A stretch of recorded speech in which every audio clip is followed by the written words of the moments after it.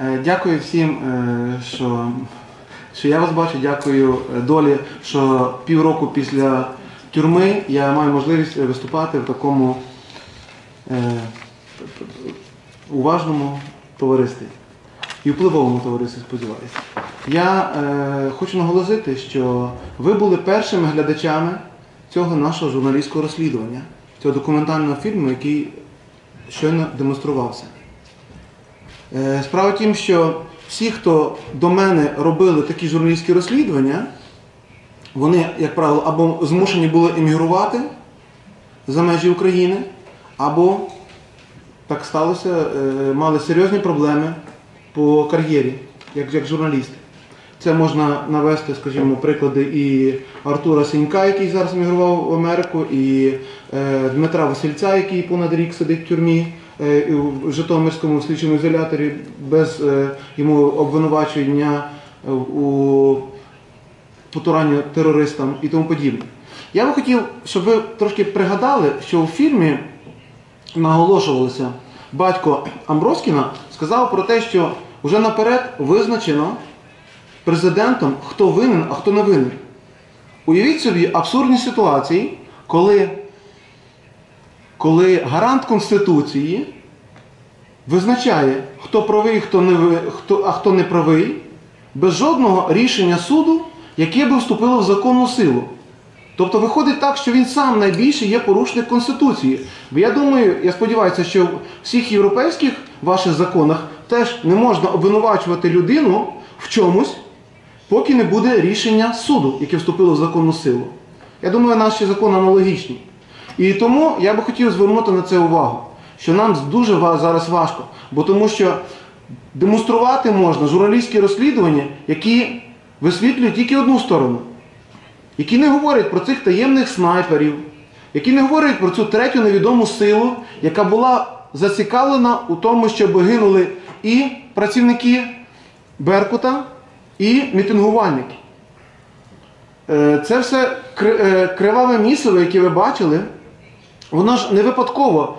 Ви політики, і ви знаєте, що за останні три десятки років, е, мабуть, е, там Туніс, Лівія, Бахрейн, ну багато країн, та врешті-решт Югославія, теж, напевно, була схема, коли при економічній і політичній напрузі раптом виникали звідкись невідомі снайпери, які робили кілька таких сакральних жертв і невідомо куди зникали, а потім, відповідно, детонувався певний вибух, який приводив до, до зміщення влади.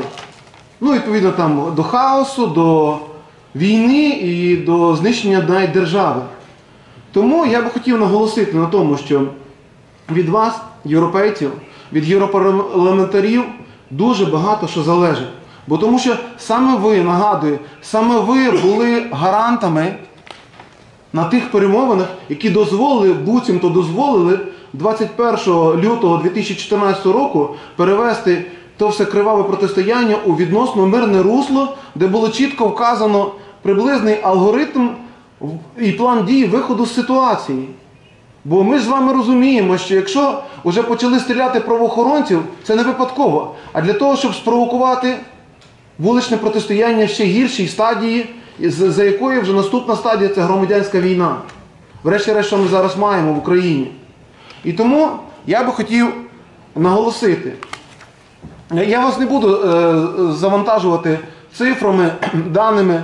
При потребі це все є у звітах. Е, і врешті-решт, е, дякуючи навіть е, представникам ОБСЄ, які присутні на тих всіх знакових судових процесах, я їх називаю судилищах, бо тому що вони нагадують такі процеси часів сталінізму 37-го року, коли були політичні репресії, просто за право думати по-інакшому або право говорити по-інакшому. Так от, завдяки і місії ОБСЄ, і завдяки незалежним журналістам, які, на жаль, можуть бути активні тільки в інтернеті, так сталося в нас в Україні вже відсутня свобода слова, то ми ще можемо дізнатися, що ж насправді відбувалося. Нагадаю, там виступав такий Віктор Цвигун, рідний брат вбитого правоохоронця на Майдані. Уявіть собі, рідний брат вбитого правоохоронця обвинувачується в статті, за якою йому загрожує 20 років до 20 років в'язниці.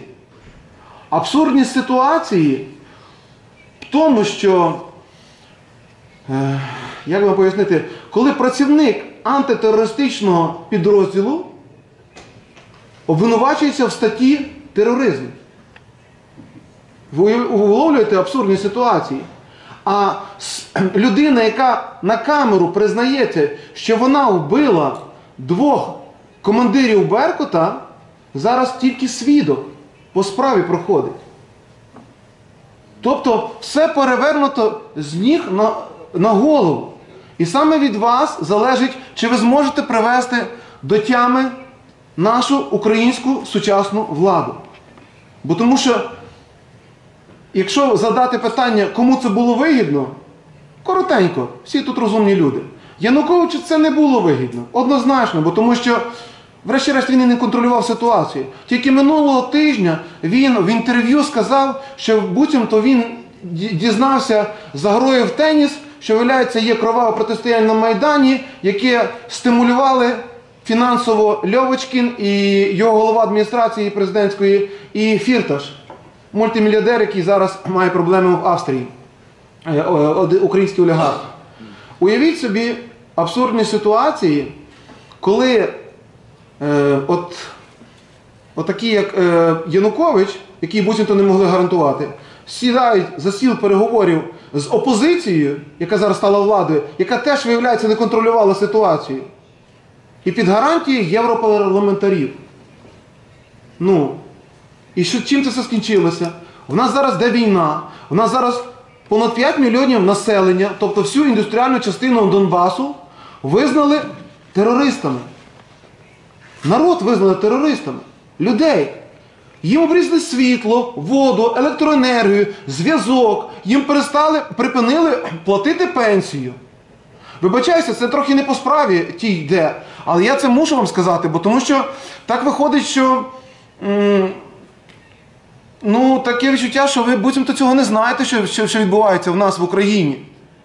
Бо тому що інакше ви не віталися з цим президентом, нашим українським президентом, врешті-решт за нього голосував. Але ви уявіть собі, коли оце все беззаконня, корупція, це все зараз простимульовано вашим, вашою такою байдужістю. Бо тому що ви геополітики. Ви, решті-решт, можете викликати українську владу, яка вічно до вас сюди їздить клянчити гроші, чергові кредити, які, врешті-решт, підуть на патрони і на вбивство знов наших українських спів- співвітчизників.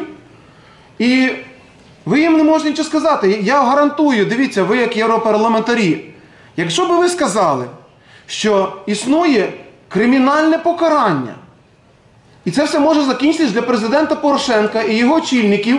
е, Ну, це може закінчитися Гаазьким трибуналом.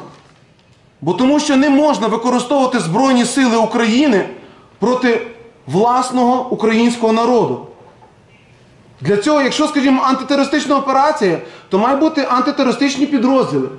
Але які антитерористичні підрозділи зараз будуть підтримувати цю владу, коли їх зараз судять за виконання наказу про наведення порядку під час цієї вуличної вакханалії? Я був журналістом, який симпатизував Євромайдану рівно до того часу, поки я не побачив, що почали готувати коктейлі Молотова. Я висвітлював і скажімо так, і антимайдан, і Євромайдан. Бо тому що це норми об'єктивної журналістики, це принципи журналістики. Я, якщо ти хочеш бути не пропагандистом, не прислужбою когось там, то ти повинен висвітлювати, особливо коли це конфлікт, особливо коли це конфлікт збройний, обов'язково треба подавати дві точки зору. В нас, на жаль, зараз це все, і повторюся, за вашої мовчазної згоди відбувається. Оце все в каналі.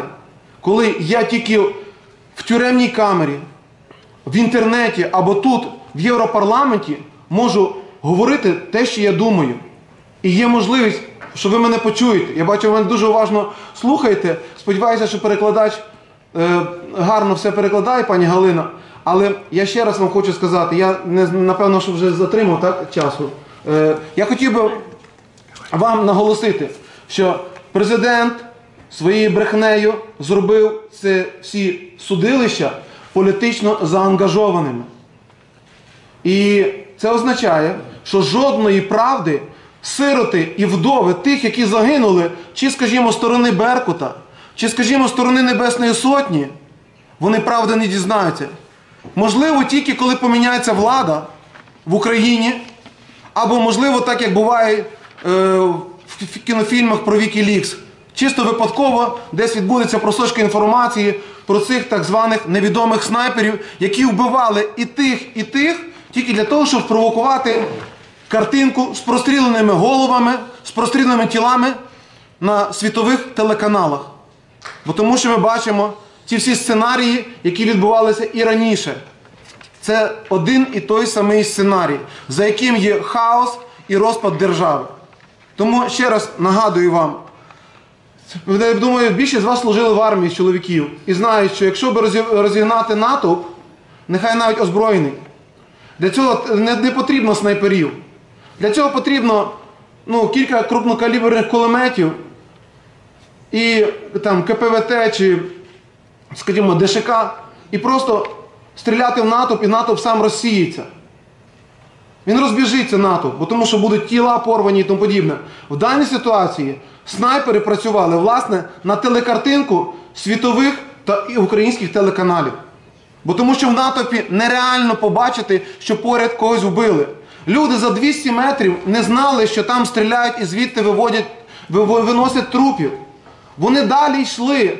Питаються, хто давав наказ? Якщо, скажімо, домовилися з Януковичем під гарантією Європарламенту, хто потім дав наказ цьому пану Бубенчику Іванові, який признався, що він вбив двох беркутів, двох командирів беркутів? Хто дав наказ потім? Е, чому взагалі не розслідують справу по е, екс-віце-прем'єр-міністру Олександру Сичу? Він зараз голова обласної ради, Івано-Франківської обласної ради, де я е, звідки родом, з Івано-Франківщини.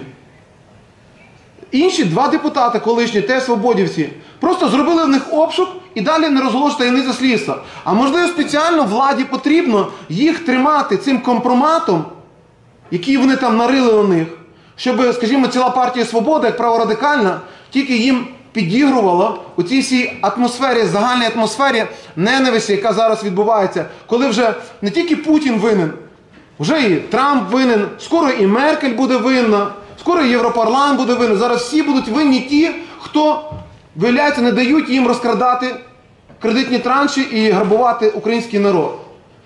А можливо, дійсно потрібно подивитися як сусіда в Росії і використати і позитивний, і негативний досвід, які відбувалися, таке саме було протистояння подібне в Чечні. Там ж зараз спокій, якось вони домовилися, а та ж був, а там були теж трупи, там були теж біда.